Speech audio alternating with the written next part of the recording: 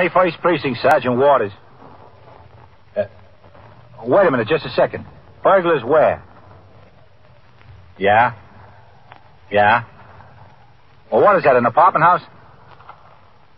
Oh. Yeah? You're in the muster room at the 21st Precinct, the nerve center. A call is coming through. You will follow the action taken pursuant to that call from this minute until the final report is written in the 124 room at the 21st Precinct.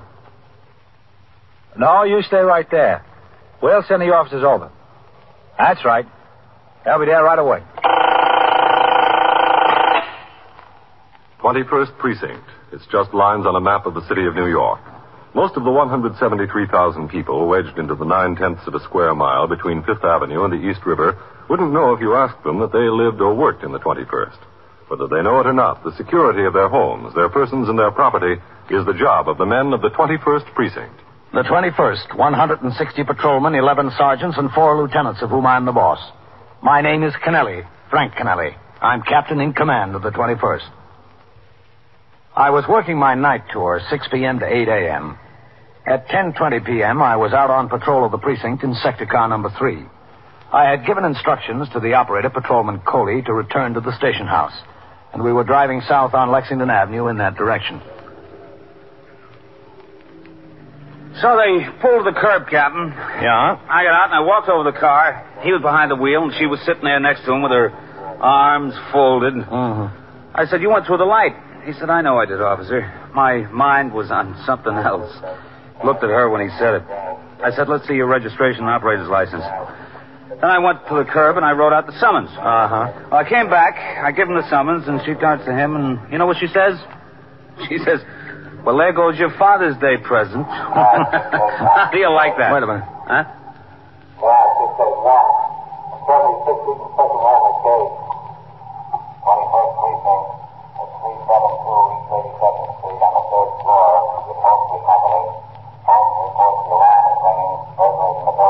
Let's go, Coley. Yes, sir. We're liable to be the first ones on the scene. Hold the siren. Maybe they're still in there. Yes, sir. Okay. Go on. Take your left. It's a break, Captain. Street looks clear. All right. Go through the light. Give him the horn. Right. Okay, you're clear. Got it. Come on, move, taxi. Nose in the middle of the street. You know the building? 372, I know it. Cross Second Avenue and pull up right in front of it. Yes, sir. And hold the horn going across. Captain, somebody come running this way. Yeah. There he goes, into the bar and grill there. All right, pull him. I'll check him out. You go on to the scene. Yes, sir.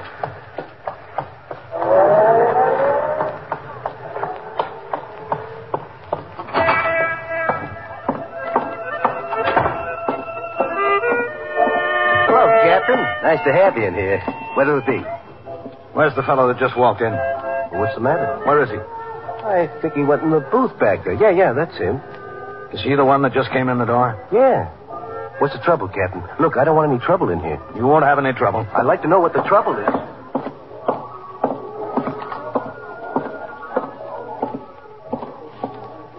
You. Did you just come in here? No, no, I've been in here for a little while. Why are you so out of breath? Who's out of breath? I'm not out of breath.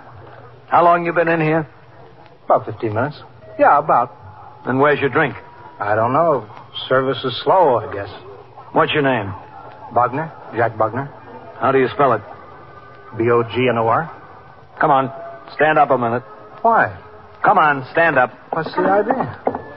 What's it I'm supposed to have done? Well, I don't know that you've done anything. And what's the idea? Lean up against the booth there. Why? Go on.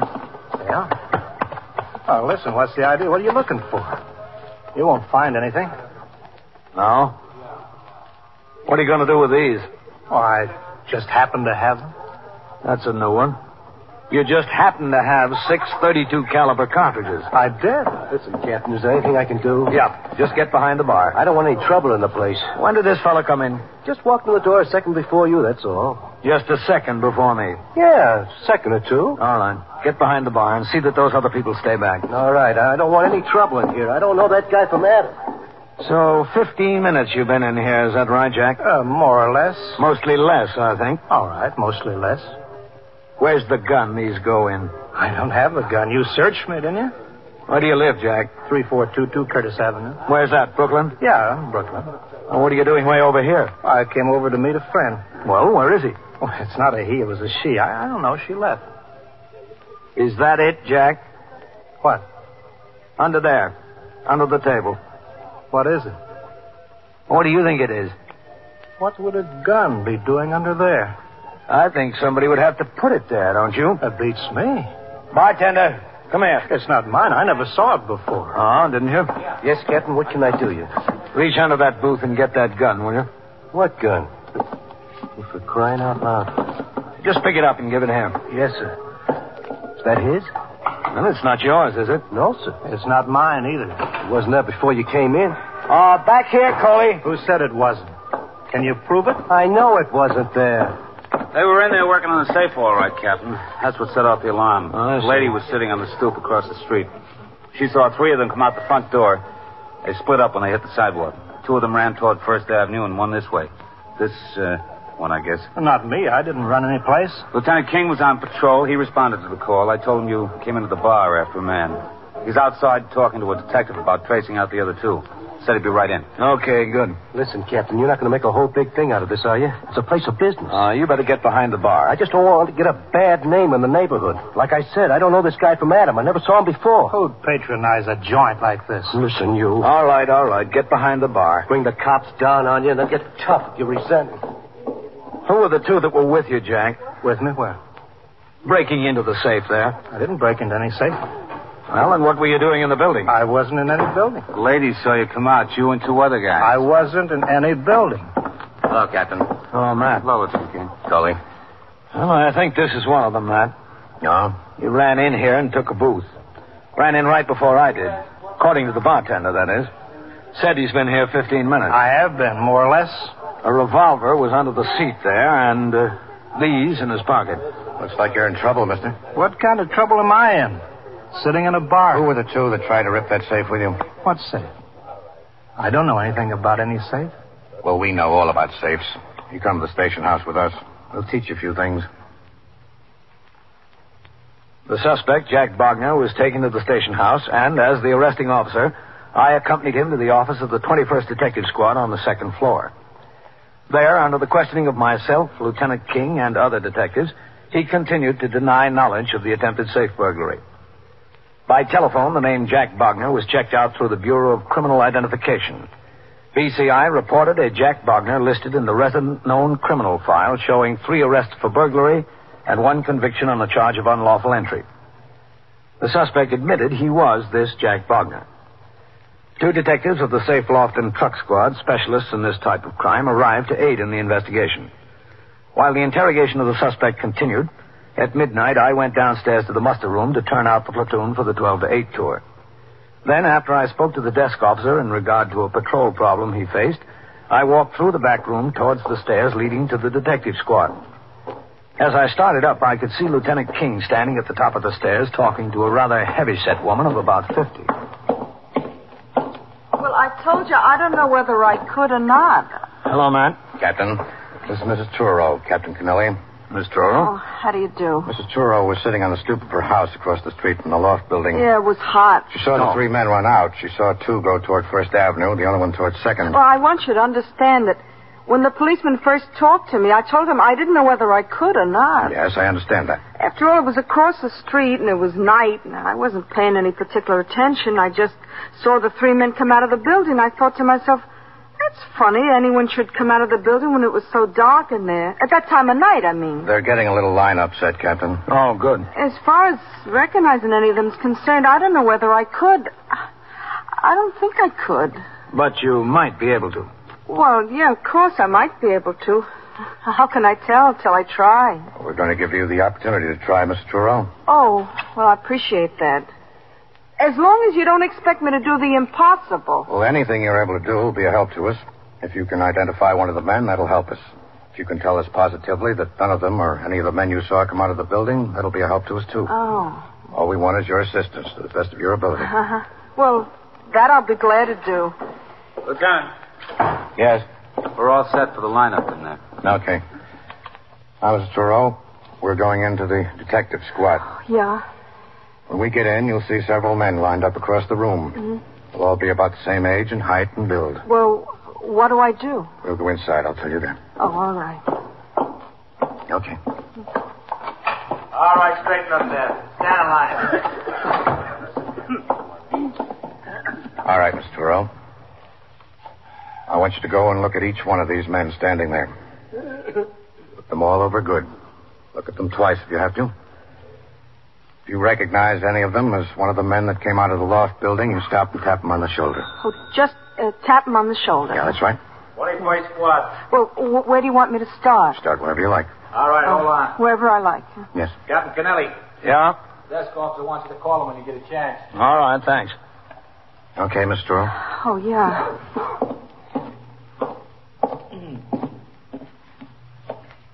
Just walk down the line, huh? Yes, that's right. Walk down the line, and look at each one. All right.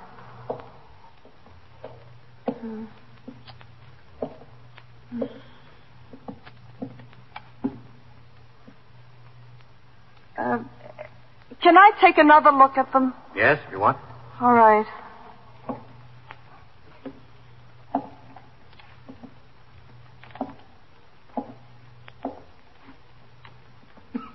Oh, uh, one of them had on a sports shirt, something like this one.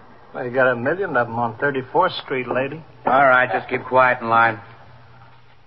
You recognize any of the men, Mrs. Turo? Uh, no, I'm afraid it was just too far away. Just too far. I, I was across the street. I didn't notice particularly. The only thing is, one of them had on a sports shirt, something like this man. Send the sports shirt to Sing Sing. All right. well, Mrs. Turo? I'm sorry. That's all right. All we want is the truth. You can't, you can't.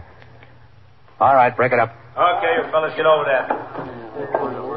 Want me to have an officer take you home, Mrs. Oh, no, no, that's all right. It's kind of late. No, no, it's all right. I'm so nervous, I think I'd rather walk than ride anyway. I wouldn't be able to sleep. It's too hot. All right, thank you.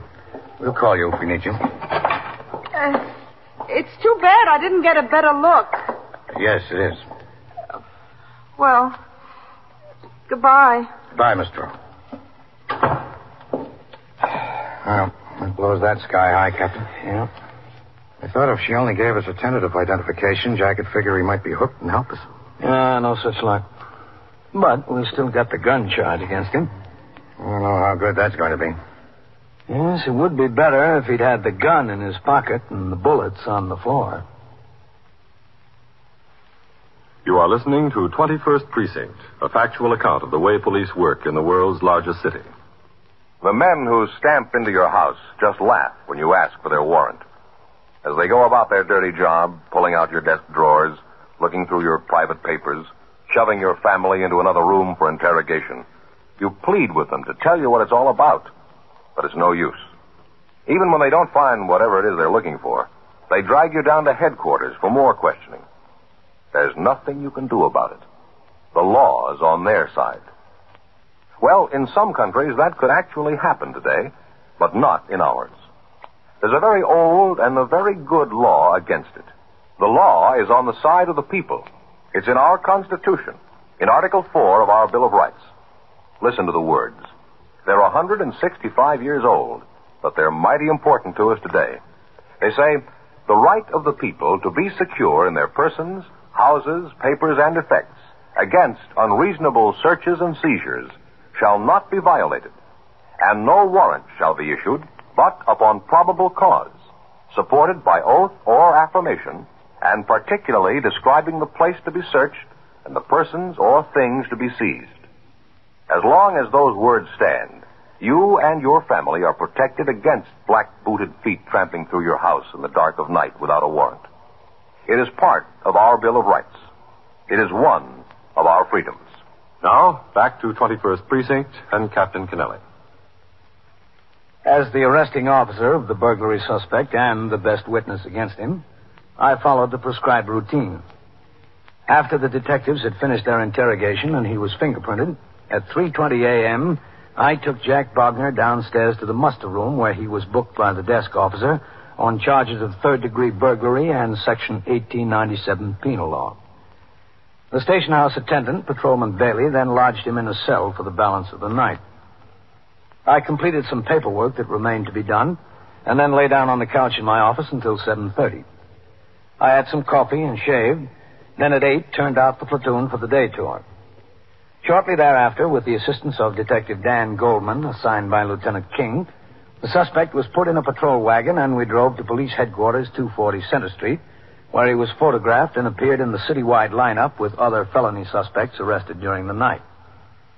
Following the lineup, Detective Goldman and I went with the prisoner further downtown to 100 Center Street, New York County Criminal Courts Building.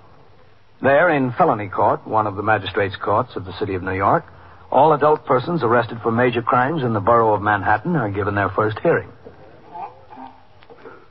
Jack Bogner, Jack Bogner to the bar, complaining Captain Frank Kennelly. Present. I'm here. Jack Bogner, you're charged with violation of Section 1897 of the penal law and that you had in your possession one loaded revolver. Also, you're charged with burglary. How do you plead, guilty or not guilty? Not guilty. Do you want to be heard now, or do you want an adjournment to obtain counsel witnesses? Isn't the defendant represented by counsel? They tried to get my lawyer, Your Honor. They couldn't reach him. They tried twice. He's in Atlantic City. Does the district attorney have any suggestions? I think we ought to have an adjournment until Monday, Your Honor. Should be able to have counsel available by then. Oh, now, Your Honor, it's not fair to make me lay in jail over the weekend like that. I'm ready to make bail. My bondsman's here. I could reach him. Mm, I'm inclined to agree that it isn't fair to the defendant.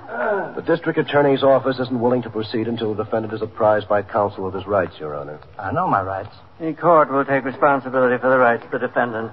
Go ahead, Mr. District Attorney, on the application for bail. Yes, Your Honor.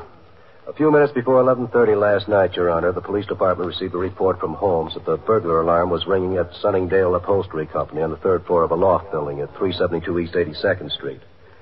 In response to the call, as Captain Kennelly will testify if you wish, officers found the shipping platform door had been jimmied and an entrance made. Burglars started to work on the safe. That tripped the burglar alarm. The burglars abandoned their tools and left in a hurry. A witness across the street saw three men run out of the building and separate. In the meantime, Captain Kennelly was proceeding to the scene in response to the call. He saw this man, Jack Wagner, running in a direction away from the building and into a bar and grill on Second Avenue. Captain Kennelly alighted from his car, went into the bar and grill, and questioned this defendant. This was on the floor under his seat, Your Honor. A 32 caliber Smith & Wesson, fully loaded. It wasn't mine, Your Honor. I don't know anything about the gun. A half dozen more cartridges, 32 caliber, were found in his pocket. That's substantial proof, Your Honor. Bail of $10,000 on each charge is requested. Did the defendant admit to the burglary? He denies it, Your Honor. Has he been identified, or do you have any other proof? Not at this time, Your Honor. Bail is set at 2500 on each charge, returnable for hearing uh, when? Wednesday at 10 a.m., Your Honor. Hearing next Wednesday at 10 a.m. Can you arrange to be represented by counsel then? Yes, sir. I'll have him here. Thank you, Your Honor. Thanks a lot. All right, Bogner, let's go. Yeah. Wincanton, Oliver Wincanton to the bar. I'll ah, see you Wednesday, Captain. Oh, uh, just a second, officer. Listen, I want to make bond get out of here. How long do you think you're going to stay out? What do you mean? Jack, you know it and I know it. You were ripping that safe last night when the bug hit. Well, you prove it. Hello, Captain. Oh, what are you doing here, Matt? I was over at the lineup. I came down to see how things went. I can tell you, Lieutenant. Not so good for your side. We still got that gun charge against you, Jack. Well, maybe you have, maybe you haven't. We'll make it stick. We'll make it stick hard. We'll see. Gun was on the floor. Conviction will put you away for a good long time. Who were the other two guys, Jack? Look, what do you want from me? Come on, let's go make my bond. Let me get out of here. My bondsman is waiting. You ought to make it easy on yourself, Jack. Why take it all alone? I'm not taking anything. You get tapped for the gun law with a previous conviction. That's plenty. Well, we can talk about it some other time. You better talk about it now. Listen, give me a break, will you? Don't bother me. If you nail me inside the place, nail me clean, then I'd say, okay, you got me. I'd take what you're dishing out. But you, you missed. That's what you think. We didn't miss. Fair is fair. Lay off, will you? You deserved a break, Jack. Maybe you'd get it. Why don't you tell me about the safe job and who was with you? Look, you ought to play it smart. That gun deal could go either way. Oh, what do you think I am? If I made a statement, that'd put me into the burglary. That's another felony. I'm looking one in the face already, so what, what difference does it make? We can work it out. Maybe we can reduce it to unlawful entry for you. That's no felony. Who are the other two guys, Jack? And the gun beef goes out the window? I said we'd work it out. Maybe you've got an idea. I know I have. Let's get you signed out of here and take a ride uptown. In the police business, like any other business, it's both permissible and customary to give a little in order to get a lot. And the lot Lieutenant King wanted was the rest of the safecracker gang. Lieutenant King waited in the clerk's office while Jack Bogner completed arrangements to be released on bail. I reported to the police lieutenant who maintains a desk at felony court to record in a special blotter the arrival and departure of all police officers. Then I went downstairs and got the subway to go home. I was not due back on the job until 8 o'clock the following morning. I arrived at the station house at approximately 7.30, signed the blotter, and went directly to my office to change into uniform. Come in. I see you a minute, Captain? Yeah, sure. Come in, Matt. Well, how are you doing with the safe burglars? That's what I want to see about, Captain. Yeah? Not doing much good at all. Well, I thought you had Jack convinced. Mm, so did I. Oh, excuse me a minute. Yes. 21st Precinct, Captain Kennelly. Who? Oh, well. Yeah. Yes, all right, Sergeant. I'll talk to him. Yes, Mrs. Hedgerly. No, no, there's no way we can keep the trucks from going through that street. Well, I'm sorry, Miss Hedgerly, but it's a public street and they're entitled to use it. They what? Yeah, well, I can't make any promises, but I'll look into the matter. Oh, yes, I will. I'll look into it. Yes, sir. Thank you for calling it to our attention, Miss Hedgerly. Yes, that's all right. Goodbye. Her husband gave a thousand dollars to the police athletic league last year. And now she wants us to keep the trucks off her street. Hmm. I, uh, I thought that Jack was ready to open up, Matt. Well, he didn't. He got released on bail, and we drove back up here. He'd started to change his mind before we even got down to the car. By the time I got him to the station house, he said he'd take his chances with the gun deal. Why? I think he's afraid of those two guys he was with. Oh, it's a pretty thin case against him. The gun was on the floor. Only the cartridges were in his pocket. Oh, either he knows that or he's really afraid. Where is he now, do you know? I don't know, but I'm sure the safe and loft squad does. While he was up here talking to me, they sent two men to put him under surveillance when he left. Imagine they're keeping their eye on him. Mm-hmm. I spoke to Captain Larkin down there about Jack and the others. He said that job they tried at the upholstery company gives them an idea that these are the boys who've been causing a lot of trouble lately. Thinks they're right for about five or six safe jobs in the last month or six weeks. Oh, well, it could be. Well, what do you want me to do about it, Matt? Well, I don't know exactly, Captain. It's your case. Gun charge, anyway. Just wanted to get you up to date on what's happened. Well, thanks. Don't know what there is to thank me about, sir. You're welcome, anyway. I worked the rest of the tour without hearing any more from Lieutenant King regarding the safe burglars. At 6 p.m., I signed the blotter and went off duty until the following afternoon when I reported for my night tour. Lieutenant King told me that the surveillance of Jack Bogner had borne fruit. Detectives who had been following him for three days finally observed him make contact with two other known safe burglars, apparently his companions in the previous crime. The detectives were watching when the three of them looked over a plumbing supply house on East 76th Street, also in the 21st Precinct. The place was to be planted that night by detectives of both Safe and Loft Squad and the 21st Squad. At 10:30 p.m., Lieutenant King came to my office and told me that the burglars had been observed breaking into the building. They were now at work on the safe. He drove to the scene while I made arrangements to get the required uniformed officers there. Then a sector car came by the house to drive me there.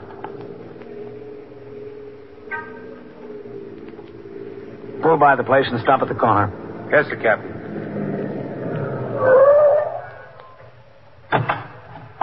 All right, let's go. Yes, sir.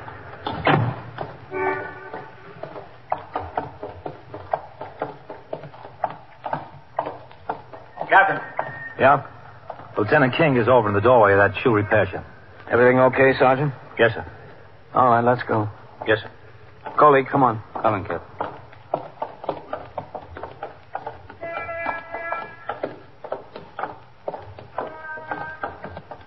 They got in through the freight dock.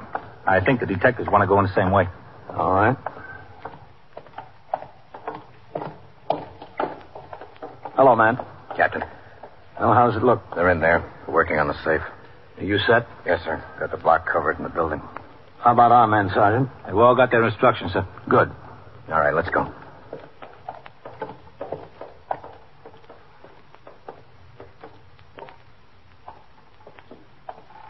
We'll go in the freight entrance. There's a shipping room there, then a stock room, then the office. That's where they are.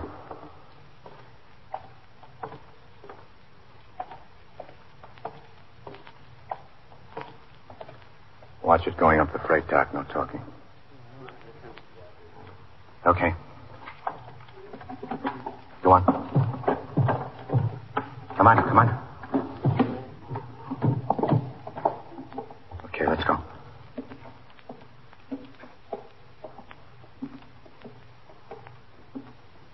That door there.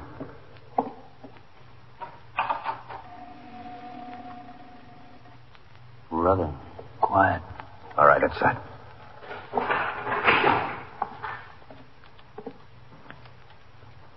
There's a light back there. That's them. Let's take them.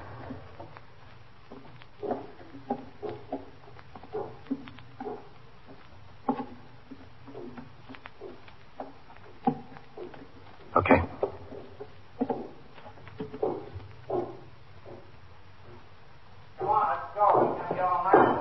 Okay, let's get him. Open the door. All right, police officers, raise up. Get him up, all of you. Watch him. Get out! Shoot! Okay, we're through. Let it out. Okay, that's enough. All right. All right, stand up. Yeah. Yeah, we're standing. Don't shoot. Get those hands in the air. Put your lights on them. Okay. Here we are. All right, let's go. Keep 'em up. Watch him. Watch him now. Get that other one over there. Yes, sir, we got him. We got him. I, I think Wally's dead. I think he is. You're lucky you're not, Jack. All right, get against the Yeah. wall there. Get Yeah, up I'm against there. very lucky. Didn't you have enough trouble, Jack? Did you have to go into this thing again? Well, I needed money. I needed to pay the bondsman.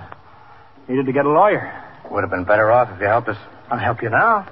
I'll give you all the help you want. What do you want to know? You're a little bit late, Jack. It just happens that right now we don't need any help.